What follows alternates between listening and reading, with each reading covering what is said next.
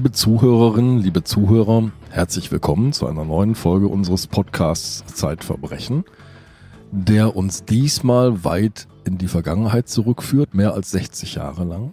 Und weit von Deutschland wegführen wird. Ja, ausnahmsweise weit von Deutschland Mhm. wegführen. Also wird. räumlich und zeitlich. Ja, er knüpft ein bisschen an an Fälle, die wir schon erzählt haben, nämlich an große politische Morde. Ja. Wir haben ja so ein Trio gemacht, nicht? Mit Yitzhak Rabin. Ja. Und, Wäre der nicht ermordet worden, Ja. hätten wir vielleicht heute nicht die Situation, über die wir gerade reden, in Israel und Palästina. Ja, das ist wahr. Das ist jetzt sozusagen der vierte und fünfte Teil des politischen Wahnsinns, der sich eben auch in schrecklichen Kriminalgeschichten ergießt. Aber eigentlich ist das eine Geschichte des Aufbruchs, eines hoffnungsvollen Aufbruchs jedenfalls. Die Überschrift lautet Afrikas kurze Hoffnung, die Überschrift über diesem großartigen Text, der damals ein Dossier war in einer Serie, Sternstunden der Menschheit. Darum haben wir das eigentlich erzählt. Ja. Und du musst jetzt unseren Autoren vorstellen. Der Autor ist ja nicht zum ersten Mal da. Der war ja mindestens schon einmal da. Bastian Berbner, du hast damals, glaube ich, über das Gehirn des Psychopathen philosophiert, Ganz als genau. du das letzte Mal da warst. Außerdem kann man dich auch in den Pfarrerstöchtern hören. Jedenfalls ein Text von dir wird dort in der Folge Der Tod des Mose und sein Erbe verlesen. Auf diesen Text werde ich immer wieder angesprochen, gerade jetzt, wo es um Israel und Palästina geht. Ja, über die Anfänge des Staates Israel. Genau, die du da wirklich meisterhaft erzählst. Und jetzt sind wir aber bei einem schlimmen Verbrechen, bei einer schrecklichen, grauenhaften Geschichte, die im Kongo stattgefunden hat. Und zwar im Jahr 1960. Da waren wir beide noch, Nicht geboren, ich jedenfalls. ja, ich war auch noch nicht geboren. Also wir wollen es mal nicht Ich weiß, übertreiben. ich weiß, ich weiß.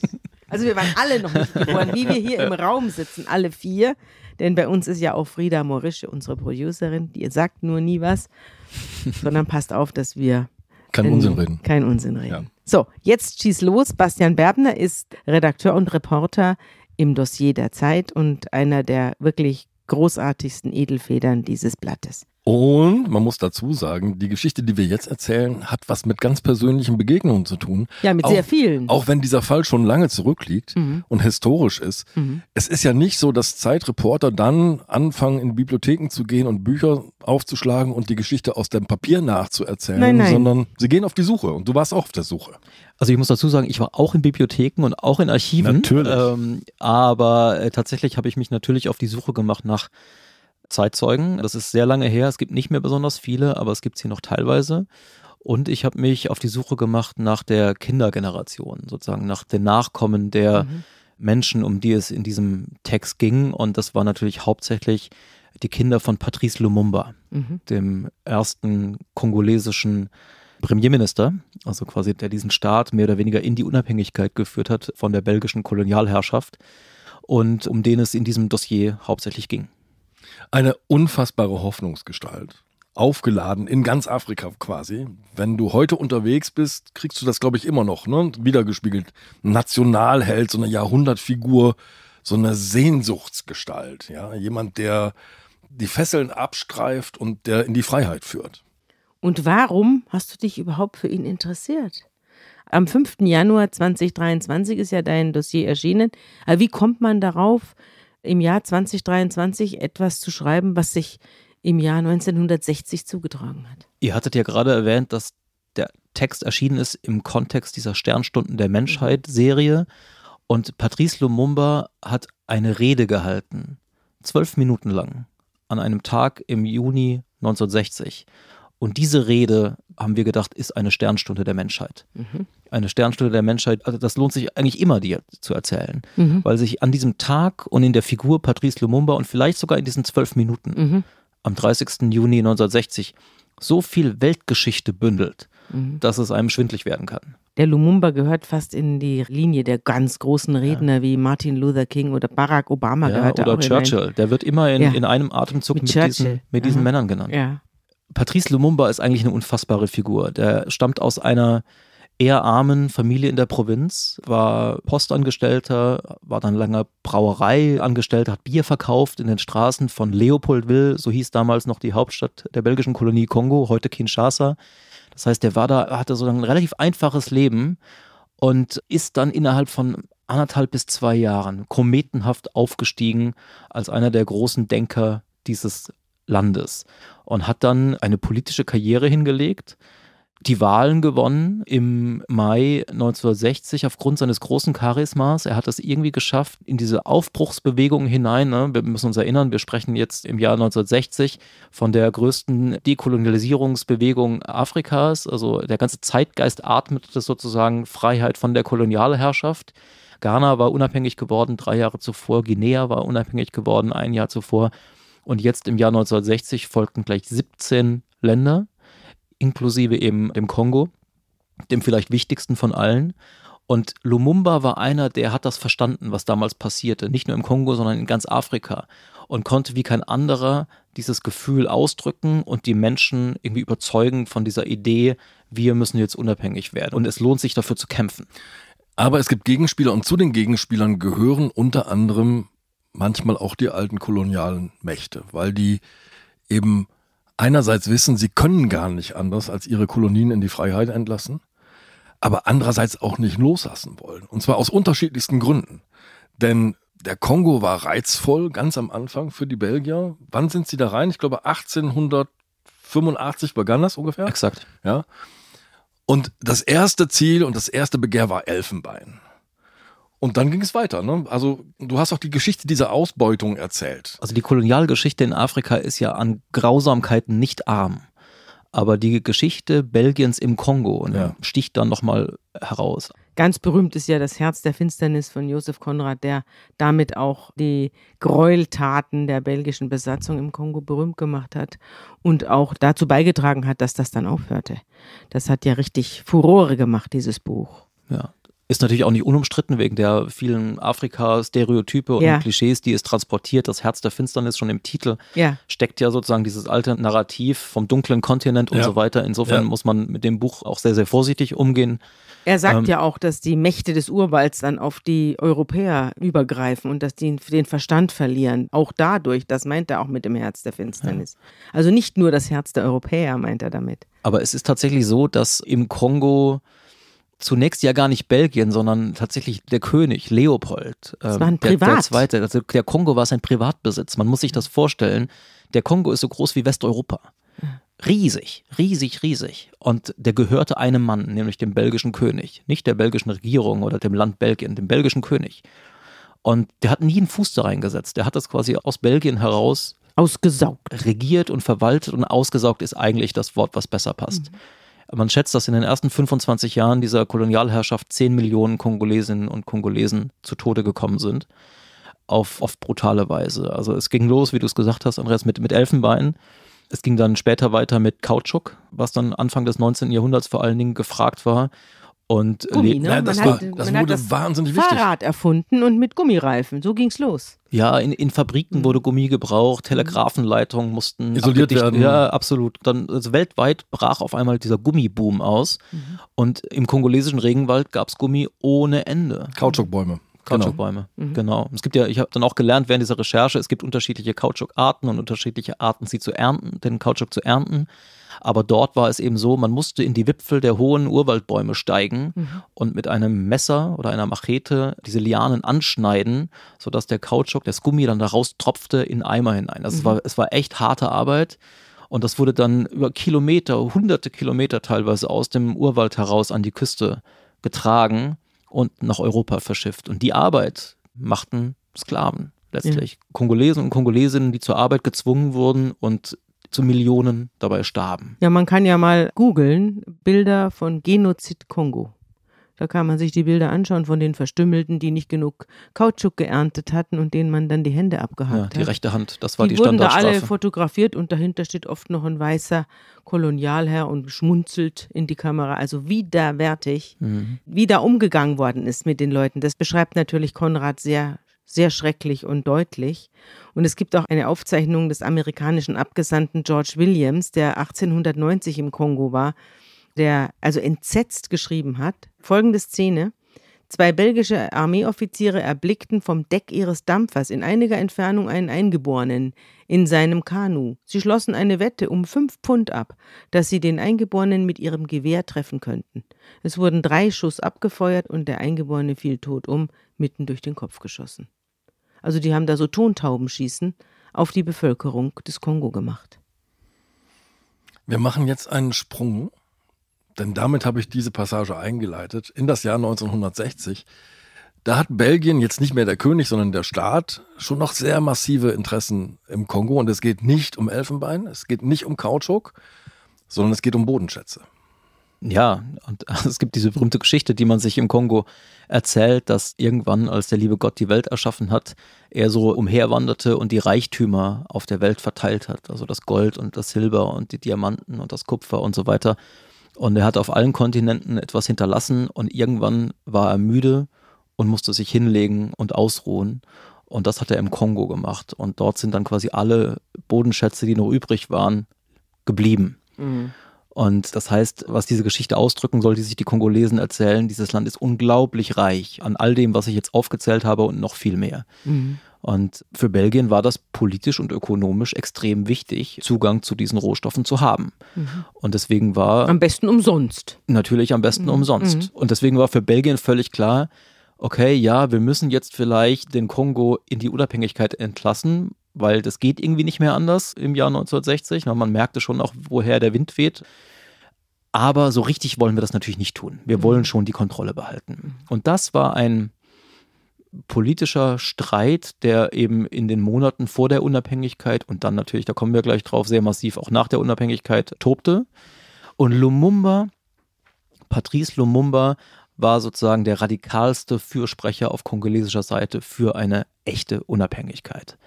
Der hat gesagt, nein, wir wollen nicht diese Pseudo-Unabhängigkeit, wie einige meiner Mitbewerber bei den Wahlen und so weiter und auch die Belgier, wir wollen eine echte Unabhängigkeit. Und ich finde es jetzt gut, dass wir eben schon kurz über diese Geschichte mit Leopold und der Ausbeutung und der Brutalität gesprochen haben, weil ich glaube, man muss das alles mitdenken, wenn wir jetzt über den 30. Juni 1960 sprechen, also den Tag der Unabhängigkeit und auch diese zwölf Minuten, die ich mhm. eingangs erwähnt habe. Die zwölf Minuten, die unserer Meinung nach zu den Sternstunden der Menschheit gehören. Vielleicht sollte man vorher aber noch ein bisschen was über Lumumba sagen, denn dass jemand auf einmal erstmal Bier austrägt mhm. und dann die weltbewegende Rede eines Jahrzehnts hält, das muss ja erklärt werden. Er hatte ja eine Bildung. Er kam ja aus einer Missionarsschule und er war extrem gut im Französischen. Er hat ein geschliffenes Französisch gesprochen. Das Besser als manche belgische Besatzer, ja. Genau. Und hat sich autodidaktisch mit Literatur und politischen Schriften selbst weitergebildet. Er war richtig hochintelligent. Es war ein hochintelligentes Kind, es war ein hochbegabtes Kind, das dann eben, als die Schule zu Ende war, sozusagen mit ihrer Weisheit, dann selber weitergemacht hat und sich dann selbst ein Studium beigebracht hat in Politologie, Soziologie und Rhetorik. Ne? Genau, also Abendschule, Autodidakt, mhm. mhm. war in so ziemlich allem, was er angefasst hat, der Beste in diesen Jahren und hat dann tatsächlich bei seinem Job als Bierverkäufer auf den Straßen, der war ja in der Stadt unterwegs, mhm.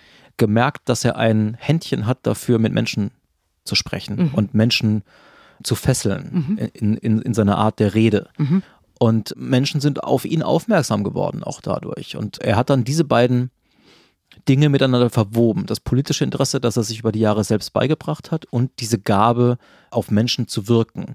Und hat ein politisches Interesse entwickelt, an der Unabhängigkeit der Staaten Afrikas und ist in der Zeit vor der Unabhängigkeit, also wir sprechen vom Jahr 1959 hauptsächlich und dann mhm. Anfang 1960, zu so einer Art afrikanischem Star geworden. Und afrikanisch kann man, glaube ich, in diesem Fall wirklich sagen, weil er auf dieser Welle des Panafrikanismus ritt. Also er reiste zum Beispiel nach Ghana. Ghana war ja mittlerweile schon unabhängig geworden, wo eine große Konferenz stattfand, organisiert vom dortigen Präsidenten. Und da wurden eben ganz viele afrikanische Freiheitskämpfer eingeladen aus allen möglichen Ländern, unter anderem Lumumba. Und er kam da an als eigentlich unbekannter, noch relativ unbekannter mhm. junger Mann und ist nach ein paar Tagen abgereist als Star. Hat eine der meistgefeierten Reden gehalten, hat in dem ghanaischen Präsidenten eine Art Mentor und Freund gefunden. Mhm. Kwame Nkrumah. Exakt. Hieß der. Die beiden waren daraufhin sehr eng und haben sich eng miteinander abgestimmt. Lumumba ist dann auch nach Kairo gereist, gleich zweimal, wo es einen ganz faszinierenden Ort gab, von dem ich vor dieser Recherche nicht wusste, dass es ihn überhaupt je gegeben hat. Da hat ein ägyptischer Diplomat auf Anraten von Gamal Abdel Nasser, dem damaligen ägyptischen Präsidenten, eine Art Botschaft eingerichtet. Das war eine Villa am Nil und dorthin konnten Freiheitskämpfer vom ganzen Kontinent kommen und ein Büro beziehen und miteinander diskutieren, wie man das jetzt macht. Freiheit erlangen von europäischen Kolonialmächten. Also es war ein Ort der Vernetzung, des Networking würde man heute sagen.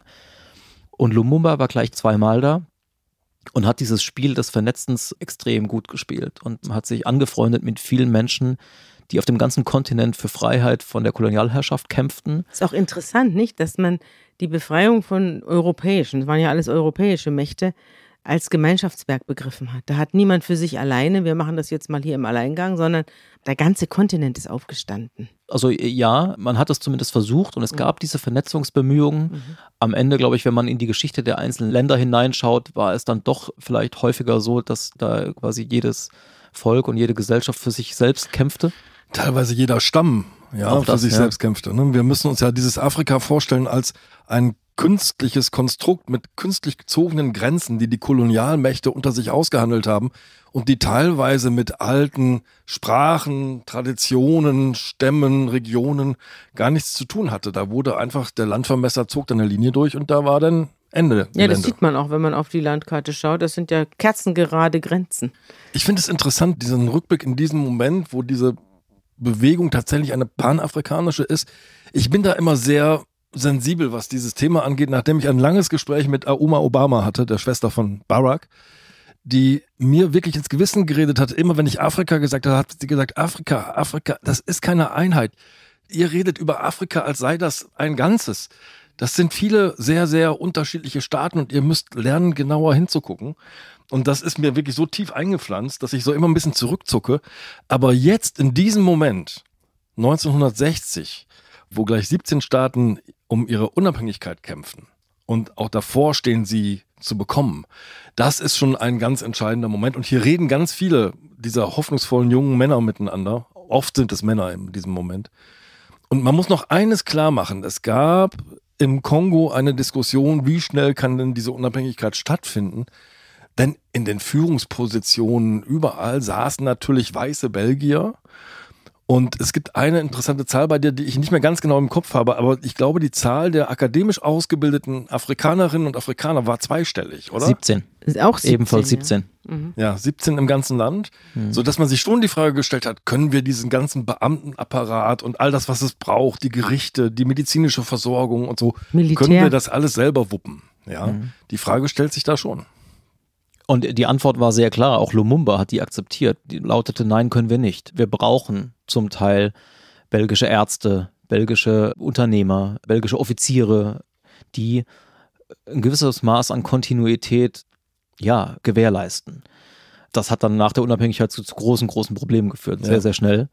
Aber im Wahlkampf vor diesen Wahlen im Mai 1960, den ersten, die stattgefunden haben im Kongo, galt das eigentlich für nahezu alle Parteien, dass sie gesagt haben, naja, ein bisschen werden wir die Belgier schon noch brauchen. Wie hieß denn die Partei von Lumumba? Das war das Mouvement National Congolais, also quasi die nationale Bewegung des Kongo, MNC. Mhm. mhm. Die hat er gegründet. Mhm.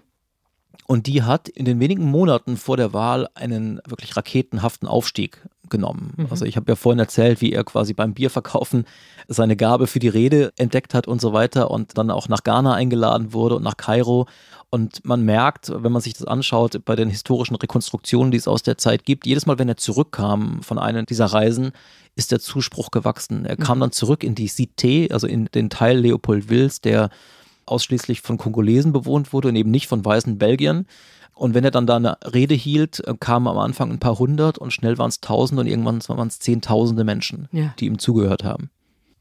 Das hat ihm nicht nur Freunde verschafft, es ist auch eine ganze Menge an Argwohn gewachsen. Plötzlich wird ein Mann sehr mächtig und es gibt Menschen, denen das nicht gefällt.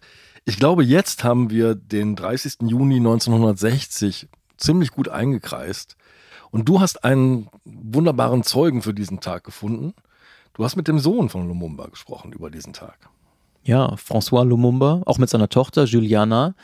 François war acht an dem Tag und Juliana war fünf. Sie kann sich nicht mehr daran erinnern, sie war zu klein. Mhm. aber François kann sich durchaus erinnern. Es war ein bisschen schwierig, er ist heute 71 Jahre alt und sein Gedächtnis war nicht das allerbeste, aber er sagte, an diesem Tag, den 30. Juni 1960, da kann er sich ziemlich genau dran erinnern. Und zwar erinnerte er sich konkret an die Situation, dass er oben im ersten Stock des Elternhauses, in dem ich jetzt auch war während der Recherche, auf dem Boden saß. Also das gibt es noch, das Ja. Elternhaus. Lumumbas Tochter, François' Schwester Juliana, wohnt heute noch in diesem Haus. Mhm. Ähm, Das ist total faszinierend, weil man, also ich habe sie interviewt in diesem Haus, in Mhm. dem Lumumba damals seine Pressekonferenzen abhielt Mhm. und ja, Premierminister wurde. Mhm. Und François erinnert sich eben daran, dass er an jedem 30. Juni oben im ersten Stock am Radio saß und die Radioübertragung hörte aus dem Palast der Nationen. Mhm. Ungefähr so, na, das werden wahrscheinlich so zwei bis drei Kilometer sein, schätze ich Mhm. mal, die der Palast der Nationen entfernt ist. Und dorthin war sein Vater, Patrice Lumumba, an diesem Morgen aufgebrochen. Und das war der Ort und der Moment, an dem diese berühmte Rede gehalten wurde. Man muss sich die Situation so vorstellen. Mhm. Es ist der feierliche Akt, in dem die Nation Kongo ihre Unabhängigkeit bekommt. Der belgische König ist angereist aus Brüssel am Es Vortag. ist aber nicht der Leopold, der die Kolonie ausgesaugt hat, so sondern alt dessen, werden auch Despoten dessen nicht. Neffe, oder? War das nicht der Neffe? Oder? genau, König Baudouin. Mhm. Der war ganz jung noch, Ende 20 Mhm. Und ist da angereist in seiner weißen Paradeuniform. Es war nicht das erste Mal, dass er im Kongo war, aber man kann sich jetzt die Aufnahmen heute noch anschauen. Es gibt zum Glück Filmaufnahmen von Mhm. diesen Tagen in, in Leopoldville und auch von diesem Festakt im Palast der Nationen. Und man sieht diesen jungen Mann in dieser Uniform in diesem Saal stehen. Und ja, das ist einfach so ein Moment, man sieht sich das an und versteht sofort, was da passiert. Mhm. Der König vorne am Mikrofon liest von einem Zettel ab, eine vorgeschriebene Rede, sehr stelzig in altem, geschliffenem Französisch, so royales Französisch. Und im Saal sitzen und stehen hunderte Menschen, viele Belgier, Kolonialbeamte, Mhm. aber eben auch viele Angehörige der neuen kongolesischen Elite. Mhm. Viele junge Menschen natürlich. Und Patrice Lumumba sitzt zu seiner Rechten auf einem Stuhl und kritzelt ganz eilig auf seinem Schoß herum, auf so einem Blatt Papier, das er auf dem Schoß liegen hat. Mhm. Und das liegt daran, dass er an diesem Tag eigentlich gar nicht als Redner auf der Liste vorgesehen war. Die Rede von kongolesischer Seite sollte eigentlich ein Mann namens Kasavubu halten. Mhm. Der war nämlich vorgesehen als der neue Staatspräsident, ein eher repräsentatives Amt. Also Lumumba, Ungefähr wie bei uns, Genau. oder? Genau. genau, also Lumumba wäre sozusagen der Kanzler und Mhm. Kasavubu der Bundespräsident. Ja, und Lumumba hatte die Wahl gewonnen. Das muss man vielleicht auch noch genau, dazu auch gegen sagen. Kasavubu. An Ja. diesem Tag sollte er zum Premierminister werden, Mhm. wird er auch. Mhm. Und er bricht mit dem Protokoll sozusagen. Aber interessant finde ich diesen Ausgangspunkt, nämlich den ersten Satz des belgischen Königs. Der ist an Zynismus nicht Ja, zu der ist unglaublich. Es ist Ja. unglaublich. Soll ich mal vorlesen? Ja, bitte. Ja, bitte. Die Unabhängigkeit des Kongo stellt den Höhepunkt des Werkes dar, das durch das Genie von König Leopold II. begonnen, von ihm mit zähem Mut unternommen und von Belgien mit Ausdauer weiterverfolgt wurde. Die Tatsachen auf den Kopf gestellt. Und da sagen wir, Fake News ist eine moderne Erscheinung. Ich, ich habe ich, ich, hab mich gefragt, wie das, man muss sich vorstellen, in diesem Moment, als dieser Satz ausgesprochen wird, sitzen in diesem riesigen Land, das so groß ist wie Westeuropa, überall Hunderttausende, vielleicht Millionen, niemand weiß das genau, Menschen vor Transistorradios und hören diesen Satz. Mhm. Wie muss das in deren Ohren geklungen haben, das Wort Genie Leopold II. dann zu hören. Nach dem, was wir eingangs schon besprochen haben, nach den vielen Millionen Toten und der Ausbeutung. Das ist schon ein Wahnsinn. Ja, es wird aber heute ja auch, also ich meine, im Kreml wird nicht viel anders geredet und in Peking auch nicht. da wird auch vom Genie der Diktatoren geschwafelt. Aber das Interessante daran ist ja, uns erscheint das jetzt sonnenklar. Damals war das wahrscheinlich für die meisten Menschen auch so. Man erwartete eine kongolesische Antwort auf diesen Satz. Mhm. Und Kasavubu, der designierte Sprecher an diesem Tag, der zum Präsidenten gewählt werden soll gleich, der sollte diese Antwort liefern. Und Lumumba hatte am Abend vorher das Redemanuskript gelesen, das Kasavubu vorbereitet hatte.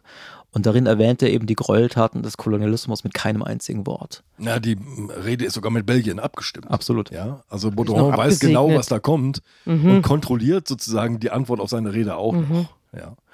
Und dann sieht man diesen kritzelnden Lumumba, diese Videoaufnahmen sind ein wunderbares Zeugnis dieses Moments. Darum kannst du den auch so genau nacherzählen. Und diese Atmosphäre wird aber auch in deinem Text sehr spürbar. Du hast zwei Ausschnitte aus Lumumbas Antwort zitiert. Den ersten lese ich hier mal vor. Und das schließt genau an das an, was wir gerade gesagt haben. Diesen, diese zynische Darstellung, dass diese Gewaltherrschaft sozusagen ein genialer Streich war, der am Ende in die Unabhängigkeit mündet. Diese Geschichtsklitterung, diese blutige Geschichtsklitterung, die beantwortet er jetzt. Unsere Wunden sind noch zu frisch und zu schmerzhaft, um sie aus unserer Erinnerung zu vertreiben. Wir mussten zermürbende Arbeit erdulden für einen Lohn, der es uns nicht ermöglichte, unseren Hunger zu stillen, uns angemessen zu kleiden, in anständigen Verhältnissen zu wohnen oder unsere Kinder so groß zu ziehen, wie sie es verdient haben. Und jetzt kommt die erste Reaktion dieses Königs und das Irre ist, der ist natürlich in dieser Situation gefangen, oder? Kameras sind auf ihn gerichtet. Was soll er tun? Das ist dann ein hochoffizieller Akt und Lumumba steht vorne am Rednerpult und redet. Er muss zuhören.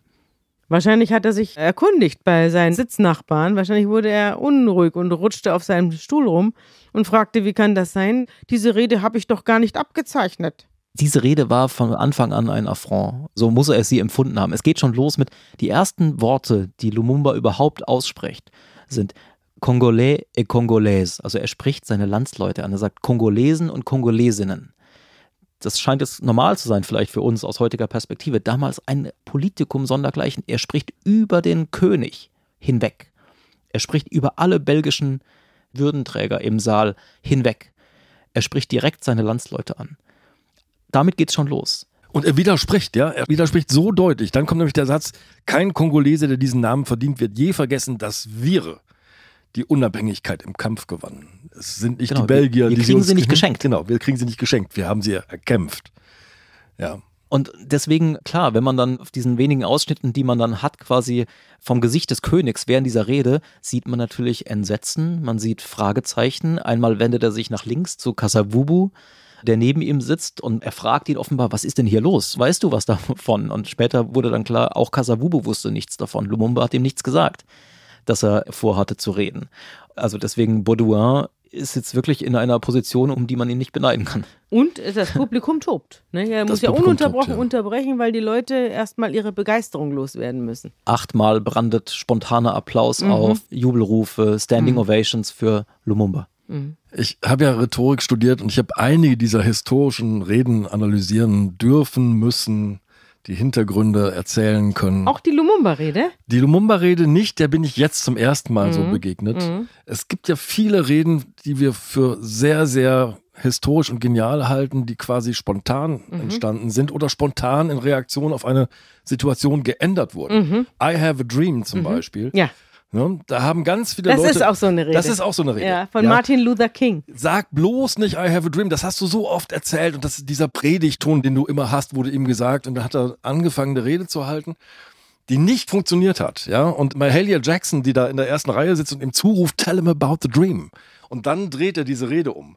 Und Lumumba schreibt auf seinen Knien gekritzelt eine Rede voller Bildkraft, Sprachkraft und Eleganz. Ein Ausschnitt noch. Wir haben Spott, Beschimpfung und Schläge erduldet. Morgens, mittags und abends. Einfach weil wir Schwarze sind. Wir sahen, dass es in den Städten herrliche Häuser für die Weißen gab und baufällige Hütten für die Schwarzen. Dass Schwarze weder in Kinos gelassen wurden noch in Restaurants oder in die Geschäfte der Europäerinnen und Europäer. Dass Schwarze im Rumpf der Schiffe reisten, zu Füßen der Weißen in ihren Luxuskabinen. Wer wird je die Massaker vergessen, in denen so viele unserer Geschwister umgekommen sind, die Zellen, in die jene geworfen wurden, die sich weigerten, sich einem Regime des Unrechts, der Unterdrückung und Ausbeutung zu unterwerfen. Das sind echt starke Worte. Regime des Unrechts versus das Genie Leopolds II. Ja. Genau. Zwölf, Zwölf Minuten. Minuten. Er ist nicht lang. Ne? Zwölf Minuten.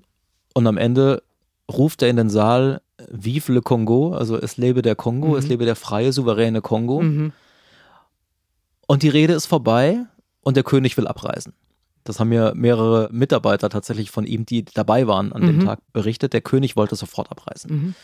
Und es gab dann, das steht gar nicht im Text, es gab dann ein Mittagessen an diesem Tag, an dem er umgestimmt wurde. Und Lumumba hat tatsächlich so eine Art Pseudo-Entschuldigung ausgesprochen ihm gegenüber, was sozusagen für die Geschichtsbücher nicht groß wichtig war, aber es hat zumindest dazu geführt, dass Baudouin noch einen Tag blieb, bevor er dann regulär abreiste, wie das auch geplant war. Aber dieser Moment ist deswegen so interessant, weil er einerseits das Gefühl nicht nur im Kongo, sondern in vielen Teilen Afrikas auf den Punkt brachte Mhm. gegenüber den Kolonialmächten. Und andererseits war es natürlich auch ein Omen für das, was kam, weil das war jetzt der maximale Affront. Belgien wurde wirklich brüskiert. Der König wurde brüskiert. Und gleichzeitig war ja Belgien weiterhin anwesend im Kongo. Wir haben schon darüber gesprochen. Also es ganz, ganz tausende Belgier waren dort und mussten in irgendeiner Form dieses Land in die Unabhängigkeit begleiten. Und dafür war natürlich jetzt keine besonders gute Voraussetzung geschaffen. Deswegen frage ich mich, und das habe ich mich auch jetzt, als ich deinen Text nochmal gelesen habe, an mehreren Stellen gefragt, war es wirklich klug? Es war ein großer Moment, aber für diesen großen Moment hat er letztlich alles geopfert. Denn er hat einen unauffälligen, stillen, schlauen und vielleicht auch tückischen Übergang der kongolesischen Gesellschaft in die moderne Zeit und in die Freiheit hat er zugunsten des großen Aufschlags vertan und hat damit jetzt auch, er ist ja nicht lange an der Macht geblieben. Das sind ja alles jetzt, was jetzt passiert, passiert ja in Tagen und Wochen. Also seine große Zeit läuft ja ab, schneller als eine Sanduhr. Aber er ist ja auch nur berühmt wegen dieser Rede. Er ist ja nicht dafür berühmt, dass er den Kongo in einer sozialverträglichen Weise freigemacht hätte. Deswegen frage ich dich, ist es wirklich schlau gewesen? Man würde ihn das gerne selber mal fragen Mhm. oder man hätte es ihn gerne selber gefragt. Ne? Aber wie du gerade sagst, zehn Wochen später war er schon nicht mehr im Amt und sieben Monate später war er tot. Es Ähm, gibt aber noch eine Vorgeschichte, auf die wir noch mal einmal hinweisen Mhm. müssen. Denn diese Unabhängigkeit entsteht ja nicht irgendwie so aus der Luft, sondern darüber wird ja verhandelt. Ja, Mhm. die Belgier verhandeln in Leopoldswil, die Kongolesen fahren mit einer Abordnung nach Belgien, nach Brüssel, da wird verhandelt. Und interessant ist, dass die Kolonialmacht Lumumba vor der Reise einer kongolesischen Delegation nach Brüssel verhaften lässt, ins Gefängnis steckt, damit er nicht mitverhandeln kann. Ja. Und erst auf Proteste, glaube ich, kommt er raus und wird dann äh, hinterhergeflogen. Ja, das war im Januar 1960, als die entscheidende Verhandlungsrunde in Brüssel stattfand. Da sollte auch der Termin gefunden werden, wann überhaupt die Unabhängigkeit dann stattfinden soll. Das wurde dann auch dann quasi dort der 30. Juni terminiert. Und da war es tatsächlich so, dass man, viele Historiker sagen, unter fadenscheinigen Gründen Lumumba vorher festnehmen hat lassen Mhm. Weil man Angst hatte, dass er politisch zu sehr auftrumpft dort. Und dann gab es einen sehr seltenen Moment der Einigkeit zwischen allen anderen kongolesischen Delegierten in Brüssel. Die haben gesagt, wir verhandeln nicht, wenn Lumumba nicht hier ist. Und dann hat man den tatsächlich in Stanleyville, also das heutige Kisangani, wo er inhaftiert war, hat man ihn aus der Zelle geholt, Mhm. hat ihm die Handschellen abgenommen, die sich in seine Handgelenke geschnitten hatten und hat ihn verbunden notdürftig und hat ihn nach Brüssel geflogen, wo er dann ankam und begeistert empfangen wurde. Und im Prinzip den Belgiern innerhalb von anderthalb Tagen ein Datum abgetrotzt hat der Unabhängigkeit. Auch ein sehr, sehr schnelles Datum. Das ist ja schon fünf Monate später. Fünf Monate später. Ja, also Unglaublich es schnell. Sturzgeburt. In eine Ja. Sturzgeburt. Aber auch ist Ja. das klug? Es ist großartig und es ist ein großer Wurf und es ist ein großer Auftritt. Aber ist es wirklich klug? Ja. Das ist im Nachhinein, würde ich sagen, wahnsinnig schwer zu beurteilen, denn was jetzt im Anschluss passiert, dazu kommen wir gleich, hat auch eine ganze Menge von Faktoren, die mit Lumumba selber eigentlich gar nichts zu tun haben, sondern einfach damit, dass jetzt plötzlich eine junge afrikanische Elite, eine junge kongolesische Elite sich Limousinen anschafft und ein prestigereiches Leben führt. Und plötzlich wird so eine Spaltung erkennbar, die nicht mehr zwischen Weiß und Schwarz ist, sondern zwischen Schwarz und Schwarz. Und Zwischen Reich und Arm. Und zwischen Reich und Arm, ja. Ne, zu neuen Konflikten führt. Und auch Aber- zwischen Reich und Reich, muss man sagen. Mhm. Und auch das, genau. Aber einmal noch zurück nach Brüssel, denn es gibt, Lumumba steigt aus dem Flieger, eine entscheidende Begegnung. Es gibt einen jungen Kongolesen, der ruft oben von der Balustrade am Flughafen, es lebe das MNC, es lebe also Lumumbas Partei. Und dieser Mann wird eine entscheidende Rolle spielen. Wer ist der Mann? Das ist ein junger Mann, Ende 20, aus dem Kongo, der aber in Brüssel zu dieser Zeit als Journalist arbeitet und den Lumumba kennt aus Leopoldville. Die beiden haben dort schon viele Nächte miteinander Bier getrunken und über Politik geredet. Die haben sozusagen eine ähnliche Biografie. Beide waren auf Missionarsschulen, beide sind Autodidakten, beide sind aus dem Nichts quasi zu intellektuellen Figuren in diesem aufstrebenden, nach Unabhängigkeit strebenden Land geworden und waren so, ja, ich glaube, man kann am Anfang für diese Anfangszeit sagen, so Brüder im Geiste. Die sind mhm. da auf ihrem Roller zusammen rumgefahren, von Kundgebung zu Kundgebung, der eine vorne, der andere hinten und haben Politik gemacht. Mhm. Und jetzt treffen sie sich wieder. Und der Name dieses jungen Mannes da auf der Besucherterrasse des Flughafens ist Joseph Désiré Mobutu, mhm. der dann ja eine sehr illustre Rolle spielen wird. ja, und der auch Gegenstand des zweiten Teils dieser großen Geschichte sein wird. Wir haben ja zwei Podcast-Teile, die dieses Thema ausleuchten werden. Und er wird die zweite Podcast-Folge zu diesem Thema beherrschen. Ich meine, das ist ja wirklich eine Shakespeare-hafte Geschichte, die sich mhm. dann zwischen diesen beiden Männern entspinnt. Also man muss sich vorstellen, sie sind gute Freunde. Jetzt begrüßt Mobutu den ankommenden Lumumba am Flughafen, fährt ihn ins Hotel, wird in diesen zwei, drei Tagen der intensiven Verhandlungen mit den Belgiern, die super wichtig sind, sein engster Verbündeter und, und, und Staatssekretär. Und Mitarbeiter. Ne? Ja, also Lumumba fährt dann später zurück nach Leopoldville, um die Wahlen vorzubereiten. Er lässt Mobutu zurück, mhm. quasi seinen Statthalter mhm. sozusagen in Brüssel, um weiter zu verhandeln. Später kommt Mobutu dann auch nach Leopoldville und wird einer der engsten Mitarbeiter Lumumbas. Am Tag der Unabhängigkeit, während dieser Rede, über die wir gerade gesprochen haben, sitzt Mobutu in der ersten Reihe in einem weißen Anzug und hört zu, wie sein Freund Lumumba diese Rede hält und letztlich ganz Afrika, die ganze Welt in seinen Bann zieht, in diesem schicksalshaften Moment. Mhm. Und Mobutu war in dieser Zeit einer von ganz wenigen Menschen, denen Lumumba vertraut hat. Und in diesen Tagen nach der Unabhängigkeit, in denen ganz schnell das Chaos ausbricht im Kongo, Mhm. Also ich versuche das jetzt mal irgendwie relativ schnell zu erzählen, aber mhm. im Prinzip wenige Tage nach der Unabhängigkeit bricht eine Meuterei los in den Kasernen im ganzen Land, meutern die Soldaten, weil sie merken, naja, jetzt sind wir unabhängig, aber für uns ändert sich ja gar nichts. Also die schwarzen Soldaten? Ja, die schwarzen Soldaten meutern gegen ihre weißen belgischen Offiziere und Generäle. Warum? Weil sie merken, wir kriegen das gleiche Gehalt, wir kriegen das gleiche schlechte Essen, wir sind jetzt nominell unabhängig, aber was haben wir denn davon?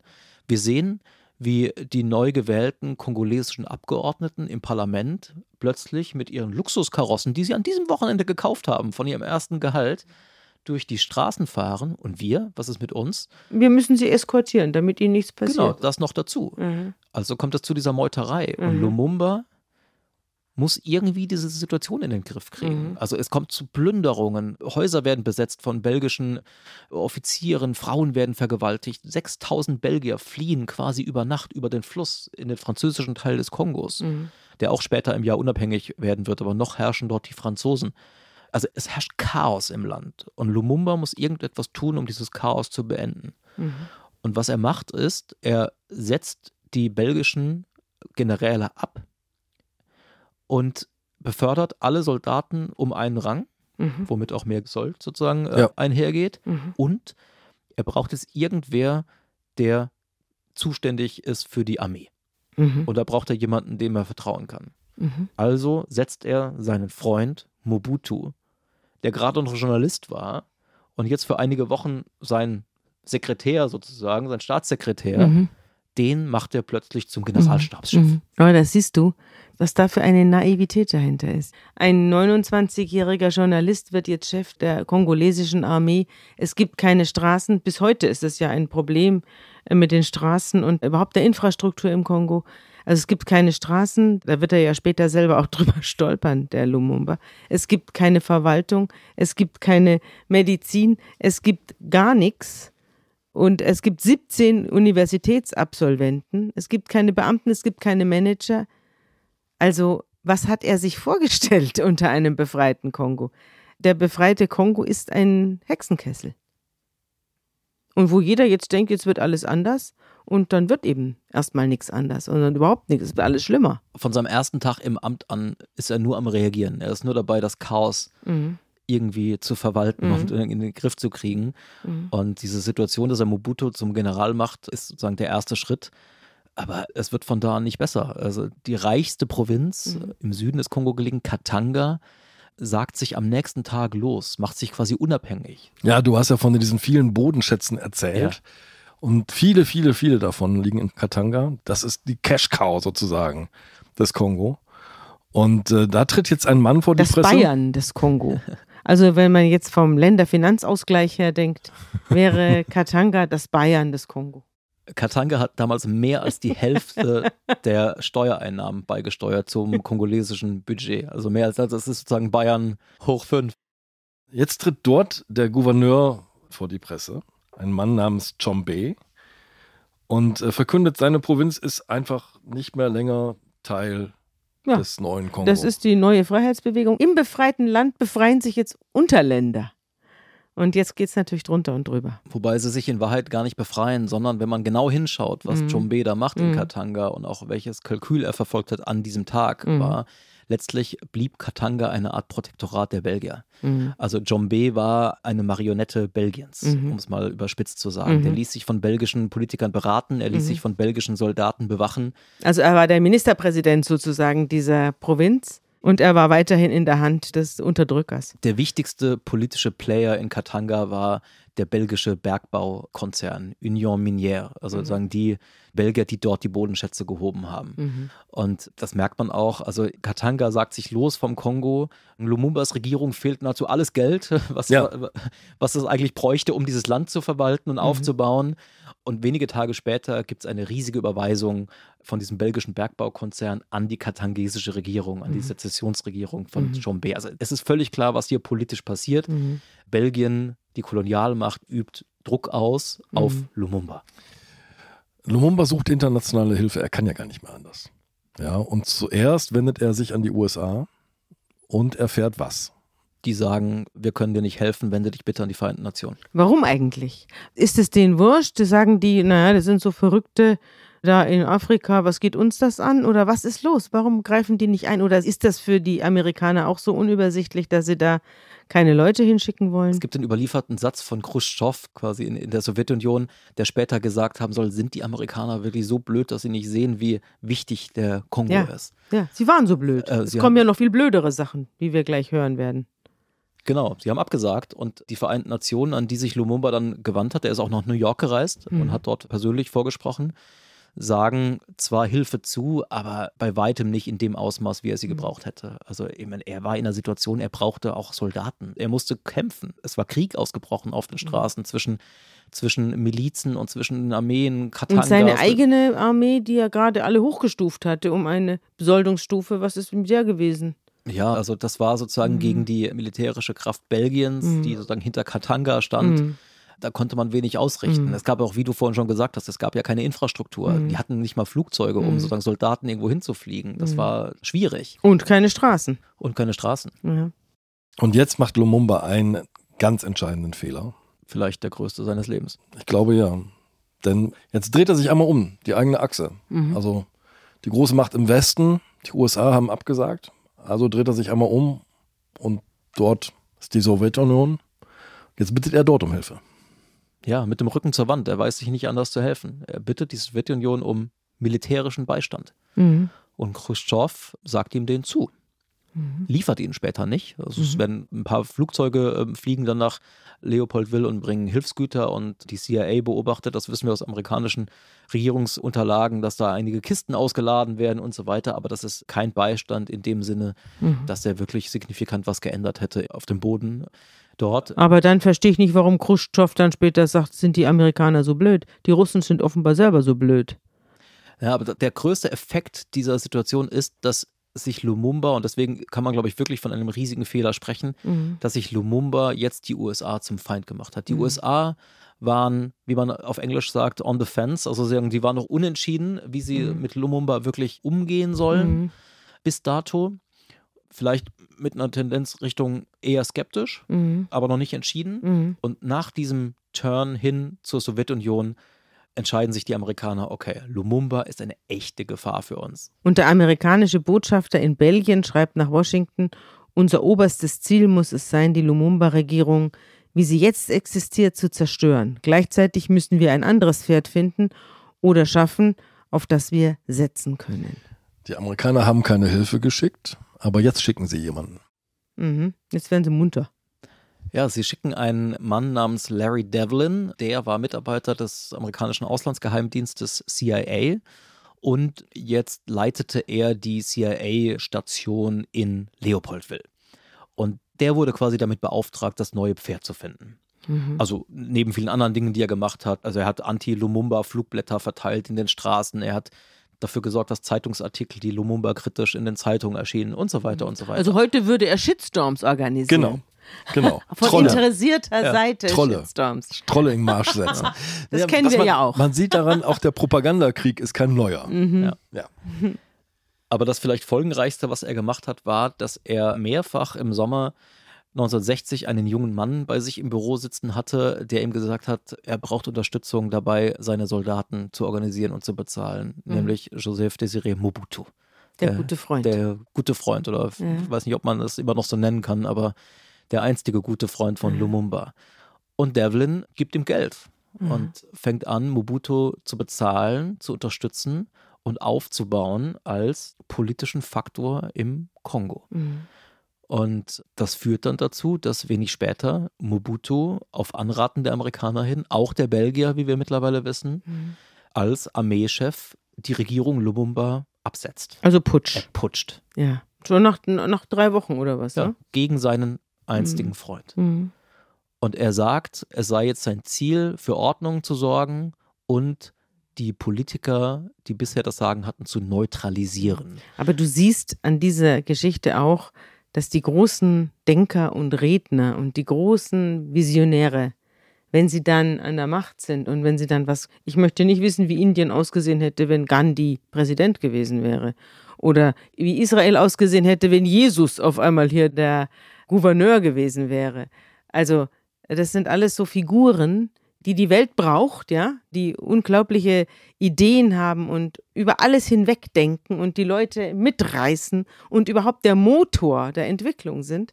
Aber wehe, wehe, ja, sie müssen dann eine irgendeine Verwaltung aufbauen oder Lumumba, oder hatte, kei- Lumumba hatte keine Chance. ja, Also man er hatte sieht, keine Chance. man sieht in dieser Situation die kalte Macht des Geldes und des Militärs auch, der Politik. Er hatte keine Chance Ja. gegen das, was die amerikanische Regierung, also wir werden es ja wahrscheinlich gleich sehen, Präsident Eisenhower irgendwie spricht plötzlich mit, was da im Kongo passieren Ja. soll. Die britische Regierung spricht plötzlich mit, die Belgier sind unglaublich involviert, also bis hinauf ins Königshaus. Lumumba hatte keine Chance. Hatte keine Chance. Aber meine These wäre, er hatte von vornherein keine. Ich glaube, weiß Die es nicht, Interessen ich habe waren noch nie einfach zu ein, groß. ein Land in die Unabhängigkeit, keiner von uns hier im Zimmer. Aber dass man es so nicht macht, das kann man, glaube ich, erkennen. Dass man es mit einem Sturz in Farbenrausch der Freiheit, dass es damit nicht getan ist. Ja. Und schon gar nicht, wenn man so viele Gegner hat. Und es ist auch interessant, dass diese ganze große Idee von der Einigkeit, es gibt ja so viele wunderbare Entwicklungen. Man kann ja politische Entwicklungen, religiöse Entwicklungen, friedensbewegte Entwicklungen, die mit einer Figur anfangen und die dann so oft, wenn sie dann realisiert werden sollen, in die Enttäuschung münden. Ja, wir haben ja jetzt aktuell den totalen Zusammenbruch von Greta Thunberg, die jetzt äh, vollkommen aus der Tüte ist und wo man auch sieht, ja, also mit großen Reden ist es nicht getan. Wenn die Rede gesagt ist, es bleibt dann nichts mehr viel übrig. Lumumba muss sich jetzt zurückziehen mit seiner Familie in seine Residenz quasi, die am Fluss liegt. Und zum Glück gibt es Blauhelmsoldaten, ich glaube aus Ghana, die sich schützend um ihn herumstellen. Ja, die Ghana halten zu ihm, ne, bis Ja. zum Schluss. Also Mhm. Nkrumah, sein Mentor und Freund, Mhm. ähm, hat da natürlich mitgeredet. Mhm. Also es gab den Aufruf der UNO an die Mitgliedstaaten, bitte, wir brauchen jetzt Blauhelmsoldaten für den Kongo. Mhm. Und Nkrumah war derjenige, der gesagt hat, alles klar, ich schicke welche. Auch Ägypten zum Beispiel hat Soldaten geschickt, Dänemark, Schweden, auch andere Nationen. Aber die Mhm. Ghanaer waren diejenigen, die auf Lumumba aufgepasst haben in dem Mhm. Moment. Mhm. Der Mann ist nach wie vor wahnsinnig beliebt, ne? also in der Öffentlichkeit. Es gibt so Momente, da kann er sein Haus verlassen, dann gibt es eine spontane Versammlung, er hält eine Rede und alle diese Interessen um diesen Staat herum, über die wir gerade gesprochen haben, ne? also die Belgier, die Briten, die Amerikaner, betrachten das mit großer Argwohn. Ne? Kommt dieser Mann zurück, holt er gar die Sowjetunion in den Staat hinein und der Druck wächst, der Mann muss weg. Mhm. Ja, und die Situation spitzt sich zu. Um den Schutzring, den die Blauhelme bilden, gibt es einen weiteren Ring von Soldaten. Die hat sein alter Freund geschickt, oder? Mobutu. Mobutu ja. hat auf, ich weiß nicht, ob man sagen kann Anweisungen, aber jedenfalls auf Anraten äh, der Amerikaner und der Belgier versucht, Lumumba festnehmen zu lassen und hat deswegen seine Soldaten da in die Residenz geschickt und die Ghana haben sie nicht durchgelassen. Das heißt, wir haben jetzt die Situation, dass. Der doppelten Belagerung. Ja, Lumumba mit seiner Familie in der Residenz, ein ghanaischer Ring, also aus Blauhelmsoldaten drumherum und dann Mobutus Soldaten, die da auch kampieren und warten, dass sich etwas tut. Bastian, was geschah am 26. September 1960? Ja, äh, Andreas, wie du gerade gesagt hast, die Amerikaner wie auch die Belgier dachten, selbst im Hausarrest ist Lumumba eine Gefahr. Mhm. Weil es kann sich schnell was ändern, dann kommt er zurück an die Macht und mhm. zack haben wir die Sowjetunion sozusagen in, im reichsten Land in Anführungszeichen Afrikas. Und mittlerweile kennen wir Dokumente aus Washington, teilweise direkt auf Präsident Eisenhower zurückgehend, die sagen, wir müssen Lumumba töten. In Belgien übrigens genau das Gleiche. Es gibt ein Dokument im Archiv, das dort ein Historiker gefunden hat. Da stehen die Worte si possible physiquement. Also es geht um das Neutralisieren Lumumbas, si possible physiquement. Also wenn möglich physisch neutralisieren. Das heißt, sowohl aus Brüssel als auch aus Washington kommt die klare politische Anweisung, irgendwie müssen wir jetzt den Lumumba töten. Lumumba soll in einen Fluss voller Krokodile fallen, soll Eisenhower gesagt haben. Und ehrlich gestanden, der Präsident der Vereinigten Staaten gibt einen Mordauftrag, da muss ich sagen, wir sollten uns über Trump nicht beschweren. Ja? Es gab schlimmere Zeiten, in denen das Weiße Haus von noch ganz anderen Leuten bevölkert ja, Ob die wirklich schlimmer waren, weiß ich nicht. Na, jedenfalls ein Mordanschlag hat Trump, soweit ich weiß, nicht den Auftrag gegeben. Jedenfalls kennen wir keinen. Jedenfalls ist uns keiner bekannt. Jetzt zum 26. September. Da trifft unser Agent Larry Devlin, du hast schon über ihn gesprochen, einen Kollegen von der CIA. Genau, weil es ja diese Mordpläne gibt, schickt die CIA aus Langley, wo sie sitzt, einen Mitarbeiter nach Leopoldville. Der trifft dort Larry Devlin im Café. Und dieser Mitarbeiter hat den Spitznamen Dr. Death. Der ist nämlich Biochemiker und ist zuständig bei der CIA unter anderem für das Entwerfen von Giften. Ah. Und ich dachte, sowas gibt es nur in Agentenfilmen. Und ich dachte, sowas gibt es nur in Russland. Dr. Death hat unter anderem versucht, Fidel Castro zu ermorden. Zweimal. Einmal mit einer vergifteten Zigarre, das hat nicht geklappt. Und einmal mit einem Taucheranzug, der von innen mit einem Pilz besprüht war. Auch das hat nicht funktioniert. Das erinnert dich an russische Unterhosen. Natürlich, ne? ja, ja, natürlich. Ja. Also ich meine, was sind das für Methoden? Das sind Mördermethoden, das sind Mördergangs, die hier am Werk sind. Ja, im Auftrag des Staates. Ja. Und jetzt bringt eben dieser Dr. Death einen kleinen Koffer oder eine Tasche mit nach Leopoldville und darin mehrere Gifte, unter anderem eins in einer Zahnpastatube versteckt. Und Larry Devlin, der Mann vor Ort, bekommt den Auftrag, irgendwie dafür zu sorgen, dass diese Zahnpasta auf die Zahnbürste von Lumumba kommt oder irgendwie ins Essen von Lumumba. Mhm. Das ist sozusagen der neue Auftrag an Larry Devlin. Was natürlich gar nicht so einfach ist, weil, wie wir gerade gehört rein. haben, Lumumba ist unter Hausarrest. Umgeben von Blauhelmen. Ja. Genau.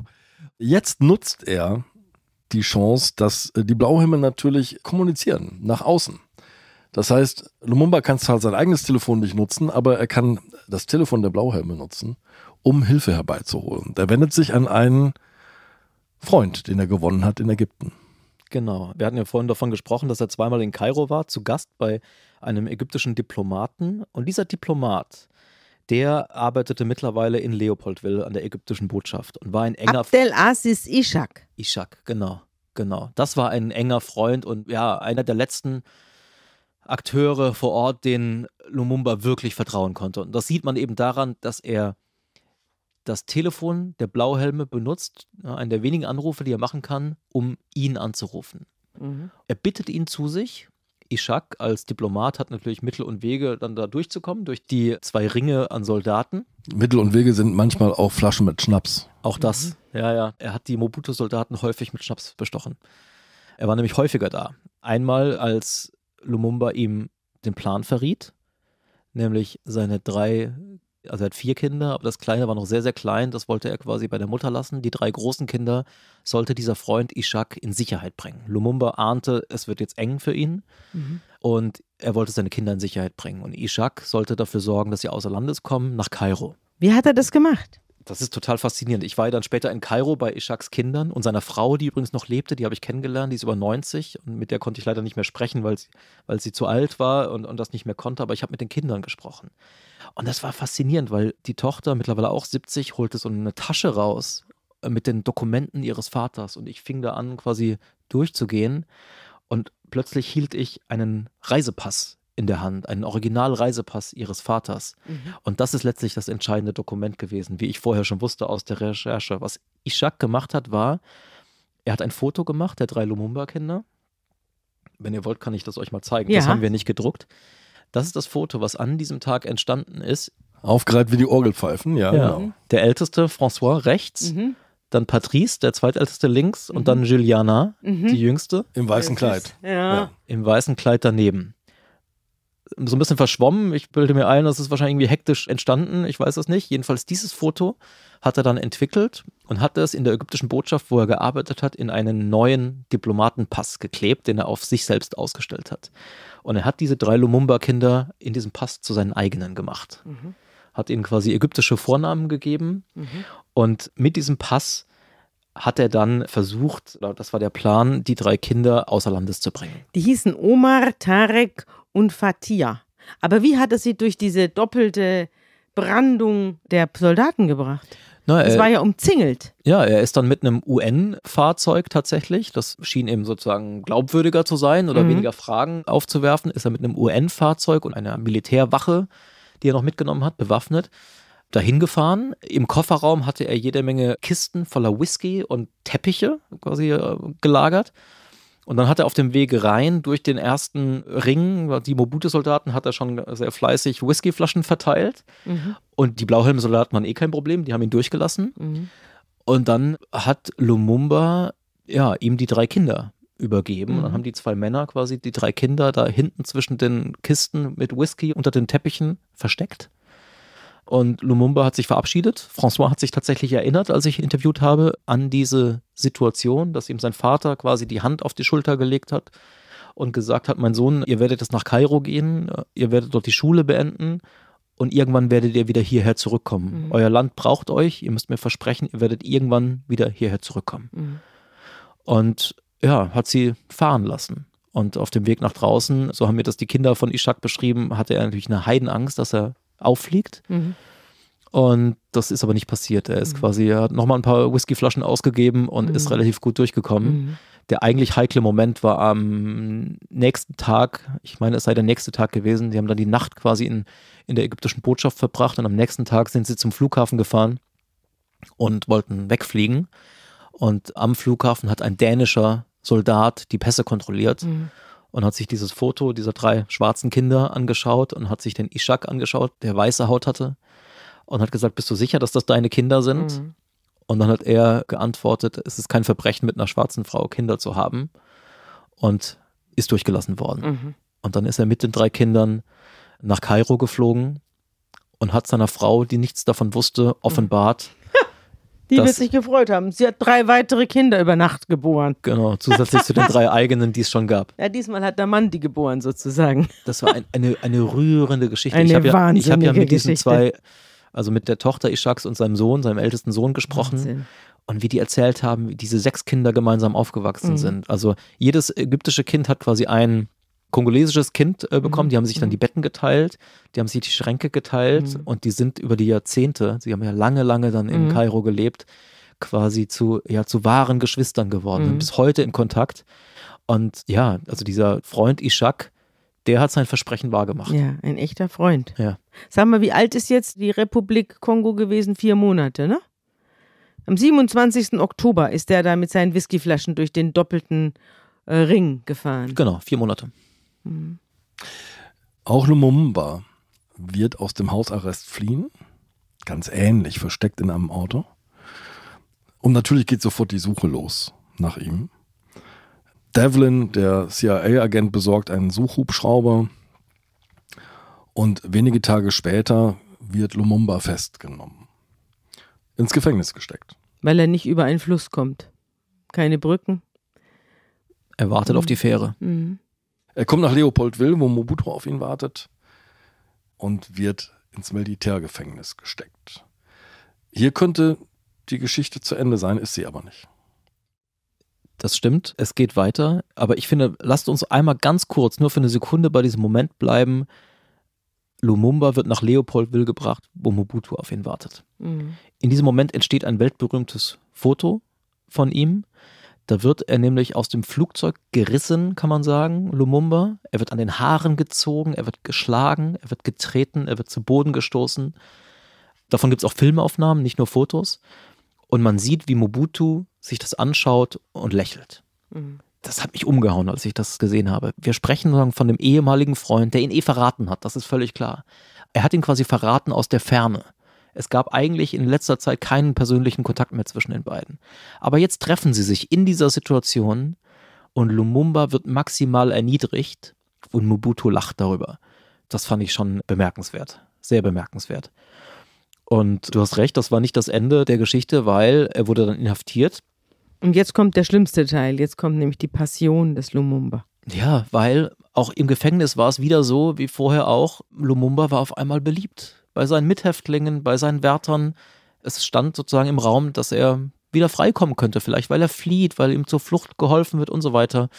Und dann gibt es die Entscheidung Mobutus und Chombes und der Amerikaner und der Belgier, also quasi die Mächte im Hintergrund verbünden sich gegen Lumumba und im Prinzip wird jetzt entschieden, ihn zu töten. Und das wird auf eine indirekte Art, sage ich mal, entschieden, zumindest von Belgien und den USA. Die sagen, bringt ihn doch einfach nach Katanga. Es war völlig klar, sobald Lumumba in Katanga ist, wird er nicht überleben. Er war da persona non grata, er war der Erzfeind. Es war völlig klar, Katanga war Anti-Lumumba-Land. Mhm. Also bringt man ihn bewusst nach Katanga und dort sorgt John B. dafür, dass er direkt vom Flughafen weg, äh, schon auf dem Flug wurde er schwer misshandelt. Das, es gibt eine Geschichte, der, der Funker an Bord, das war ein Belgier, der hat sich übergeben an Bord, weil er sich so geekelt hat vor der Folter, die Lumumba erdulden musste, schon im Flugzeug. Und dann landet er dort, wird aus dem Flugzeug herausgestoßen und direkt in so ein Haus gebracht am Rande des Flughafengeländes und wird dort einige Stunden lang schwerst misshandelt, auch von kongolesischen Politikern, Chombe eingeschlossen, der Der Ministerpräsident. hat gleich selbst Hand der, angelegt. der hat selbst Hand angelegt. Mhm. Im Beisein belgischer Offiziere. Mhm. Und dann in dieser Nacht wird Lumumba zusammen mit zwei Mithäftlingen in den Wald gefahren und dort erschossen. Von Soldaten von Katanga, die unter belgischem Kommando stehen. Nach allem, du. was wir wissen. Es ist nicht genau geklärt. Das wird man wahrscheinlich nie erfahren, wer die Kugel abgeschossen hat. Mhm.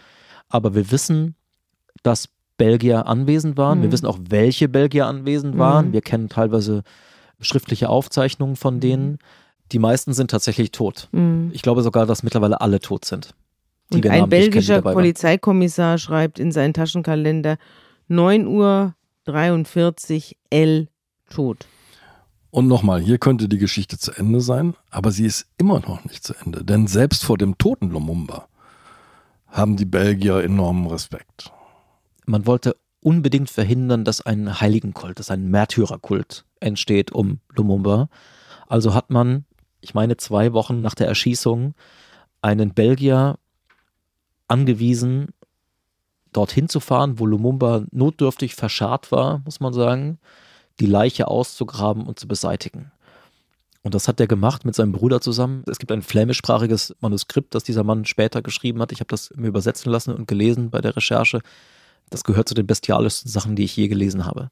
Ich will das gar nicht jetzt sagen im Detail schildern, aber die haben die Leiche ausgegraben und in Säure aufgelöst, also dann alles getan, um alle sterblichen Überreste Lumumbas zu beseitigen. Die Ja, Asche, wurde mehrfach ermordet, nicht? Er wurde nach seinem Tod immer wieder ermordet. Erst wurde er zerhackt, dann wurde er zersägt, dann wurde er mit Schwefelsäure übergossen und am Schluss wurde er noch verbrannt und dann wurde die Asche noch aus dem Fenster des fahrenden Wagens rausgestreut. So eine Angst hatte man vor dem. Alles wurde vernichtet, Mhm. außer ein Zahn. Ja. Lumumbas Kinder sind quasi im Exil, im ägyptischen Exil. Und ihre Pflegemutter ruft sie einzeln zu sich und muss jetzt diese Todesnachricht überbringen. Wir müssen jetzt gleich einen Zeitsprung machen, aber ich möchte einen kleinen historischen Zwischenstopp machen. Sechs Jahre später, 1966, wird Lumumba doch ein Denkmal errichtet. Und zwar von seinem Freund-Feind, von Mobutu. Wie kommt es dazu? Es hat einiges stattgefunden in der Zwischenzeit. Mobutu heißt inzwischen nicht mehr Joseph Desiré Mobutu, sondern Mobutu Sese Seko Kuku Ngebendu Wazabanga. Ja, Mobutu hat sich in den Kopf gesetzt. Ja, alles, und Kongo heißt Zaire. Ja, und Mhm. Leopoldville heißt Kinshasa. Ja. Und Stanleyville heißt Kisangani. Elisabethville heißt Lumumbashi. Also Mobutu hat gesagt, wir tilgen alles, was an Europa erinnert, aus der kongolesischen Gegenwart. Aha. Es findet im ganzen Land eine Welle der Umbenennung statt.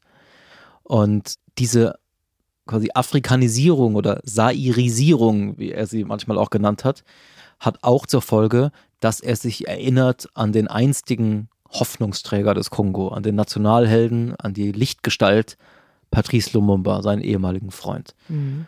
Und was er jetzt versucht, ja, in dieser gigantischen Propagandashow, ist sozusagen seinen Verrat am Freund zu tilgen Mhm. und sein Andenken für sich politisch zu instrumentalisieren. Mhm. Er baut ihm im Westen Kinshasas ein riesiges Monument, hässlich ohne Ende, ein Betonturm oder äh, vier Türme letztlich, die an eine Rakete erinnern sollen, die sozusagen die Lichtgestalt Lumumba und so weiter, also gigantomanische, verquere Idee. Bist du da gewesen? Ich bin da gewesen. Mhm. Ja, ich bin da gewesen und habe mir das angeschaut und versucht damit halt irgendwie diesen Namen Lumumba jetzt für sich zu instrumentalisieren. Mhm. Wir werden Mobutu ja noch eine eigene Folge widmen, darum machen wir das jetzt ganz kurz. Mhm. Eigentlich ist Mobutu kein Deut besser als die belgischen Kolonialherren vorher. Er beutet dieses Land für sich aus, er häuft Reichtümer an, er hat mehrere Residenzen in Europa, er zelebriert eine irre Show, er holt Muhammad Ali und George Foreman in den Dschungel, Rumble in the Jungle, der berühmteste Boxkampf quasi aller Zeiten. Er lässt Misswahlen veranstalten. Also er macht da einen riesigen Budenzauber. Brot und Spiele so ein bisschen. Ne? Also er lenkt davon ab, dass er im Hintergrund eigentlich alles einkassiert und versammelt und ausbeutet, was nur geht. Lass uns einmal noch zu Juliana, weil du hast ja die Geschichte von dem Zahn kurz angedeutet. Und die hat was mit Lumumbas Tochter Juliana zu tun. Ja, also ich habe ja mit den Nachkommen, soweit es mir möglich war, gesprochen und man merkt denen an, dass diese Geschichte immer noch so gärt in ihnen, einfach weil es nie Gerechtigkeit gab. Es wurde nie ein, einer der Verbrecher, die an diesem Mord beteiligt waren, an Lumumba, zur Rechenschaft gezogen. Es gab keine Gerechtigkeit. Und Juliana und auch François haben beide auf ihre Art jeweils versucht, so ein kleines Stückchen Gerechtigkeit vielleicht herbeizuführen. Und Juliana eben, indem sie versucht, den letzten bekannten sterblichen Überrest ihres Vaters zurückzuholen in den Kongo. Es war nämlich so gewesen, es kam heraus, dass dieser belgische Offizier, der dafür zuständig war, die Leiche zu beseitigen, hat einen Zahn Lumumbas für sich behalten als Andenken. Davon wusste jahrzehntelang niemand etwas, bis seine Tochter, er war mittlerweile verstorben, ein Interview gab und während des Interviews plötzlich diesen Zahn hervorholte. Grauenhaft. Und der wurde dann tatsächlich analysiert. Es gab eine DNA-Analyse und es wurde festgestellt, tatsächlich ist es Lumumbas Zahn. Und daraufhin schrieb dann Juliana im Sommer 2020 einen Brief an den belgischen König und bat darum, dass dieser Zahn beschlagnahmt wird in Belgien und zurückgeführt wird in den Kongo. Und dann flog sie gemeinsam mit ihren Brüdern und einer kongolesischen Delegation im Sommer letzten Jahres, 2022, nach Brüssel und bekam dort vom Premierminister eine Schatulle überreicht, in der sich der Zahn befand. Die Familie brachte ihn zurück in den Kongo, wo er auf eine lange organisierte Reise geschickt wurde, also der Sarg aus edlem Tropenholz aus dem kongolesischen Regenwald gefertigt. Darin der Zahn ging auf eine Reise durchs ganze Land, vom Geburtsort in der Provinz nach Kisangani, wo Lumumba bei der Post gearbeitet hat, nach Lumumbashi, also Katanga, wo er ermordet wurde, und dann am Ende zurück nach Kinshasa in die Hauptstadt, wo ihm eben im Schatten dieses hässlichen Raketenturms, dieses Monuments, das Mobutu Lumumba hat bauen lassen, ein kleines Mausoleum gebaut wurde. Und dort befindet sich der Zahn heute. Aber zum Abschluss hast du noch eine Begegnung gehabt und die interessiert mich. Das ist die Begegnung mit Etienne d'Avignon. Ja. Und die würde ich zum Abschluss noch gerne hören. Wer war das und warum hast du ihn besucht und was hat er gesagt? Ich habe ja gerade erzählt, dass Juliana und François unterschiedliche Wege hatten, um sozusagen mit dieser Geschichte heute umzugehen. Juliana hat den Zahn zurückgeholt und ist dafür sehr gefeiert worden im Kongo. François hat eine Klage erhoben oder eine Klage einreichen lassen in Belgien mit Hilfe eines belgischen Anwaltes. Und zwar hat er die zwölf Belgier, von denen er der Überzeugung ist, dass man sie wirklich namentlich sozusagen in Verbindung bringen kann mit Lumumbas Tod, verklagen lassen. Mhm. Das war schon 2011. Die belgischen Behörden kamen nicht so richtig in die Puschen. Das schleppte sich so hin über die Jahre. Und von diesen zwölf Angeklagten sind mittlerweile zehn gestorben. Mhm. Der elfte, als ich recherchiert habe, ich konnte jetzt auf die Schnelle nicht rausfinden, ob der überhaupt noch lebt. Also es könnte auch sein, dass er schon gestorben ist. Der zwölfte aber, mhm. Etienne d'Arvignon, den habe ich gefunden und überzeugen können, mit mir zu sprechen in Brüssel. Mhm. Der ist mittlerweile 91 Jahre alt. Als ich ihn gesprochen habe, war er 90. War er denn bei der Ermordung dabei? Nein. Aber es lässt sich zumindest nach Ansicht von François und der Leute, die sich sozusagen juristisch mit auseinandergesetzt haben, nachweisen, dass er mindestens mittelbar Kenntnis von dem Mordplan hatte, konkret. Mhm. Mhm. Etienne d'Avignon, muss man dazu sagen, ist mit 27 damals in den Kongo geschickt worden als junger belgischer Mitarbeiter im Außenministerium, hat dann eine steile Karriere hingelegt mhm. und ist EU-Kommissar geworden. Zum Beispiel EU-Kommissar ja. geworden, ja. Vizepräsident der EU-Kommission, ein Dinosaurier, sage ich mhm. mal, in der belgischen Politik, gehört zur High Society, war lange liiert mit der Tochter des belgischen Premierministers mhm. und so. Also der gehört wirklich zum Who is Who der belgischen Gesellschaft. Und ihn habe ich getroffen in seinem Büro in Brüssel und habe ihn gefragt, ob er sich Sorgen macht wegen dieser Klage, die gegen ihn erhoben wird. Mhm.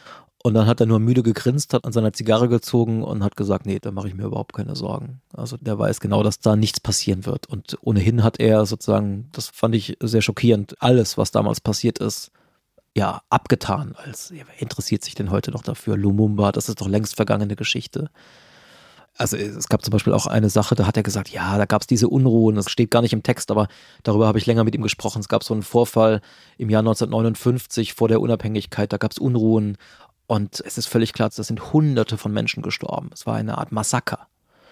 Und Davignon sagte, ja, da sind halt zwei, drei Leute gestorben. Diese Attitüde hat mich wirklich schockiert.